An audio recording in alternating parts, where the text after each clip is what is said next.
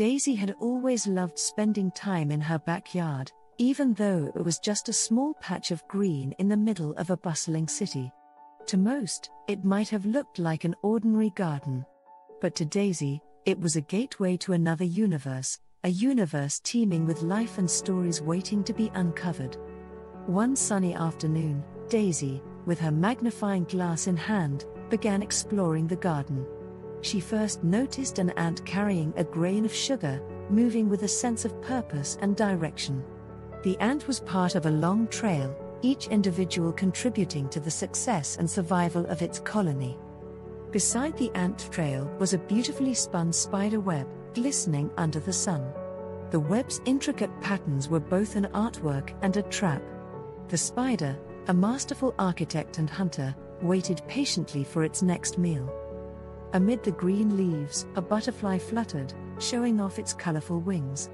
Its life, though short, was a testimony to nature's wonders, metamorphosis. From a caterpillar to a chrysalis and finally, a butterfly, the insect was the embodiment of transformation and change. Daisy then heard a faint buzz and spotted a bee hovering over a flower, collecting nectar. The bee, a key player in pollination, ensured that plants reproduced, spreading beauty across the land. But it wasn't just insects that made her garden come alive. Birds chirped from the trees, each song unique, as they played their part in nature's symphony. Beneath the soil, worms aerated the ground, unseen yet vital for the garden's health. As the day went by, Daisy jotted down her observations.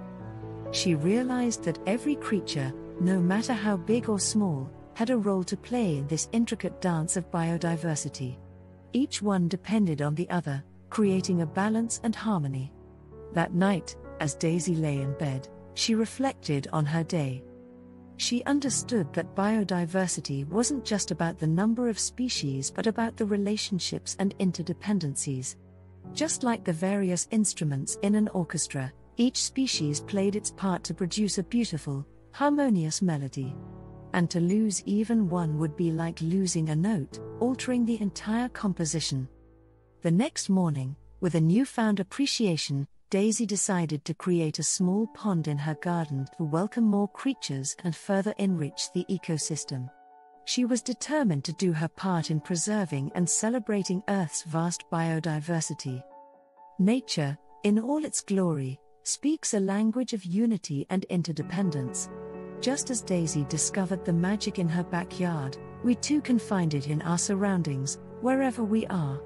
By understanding and respecting the intricate dance of biodiversity, we ensure that nature's song, rich and melodious, continues for generations to come.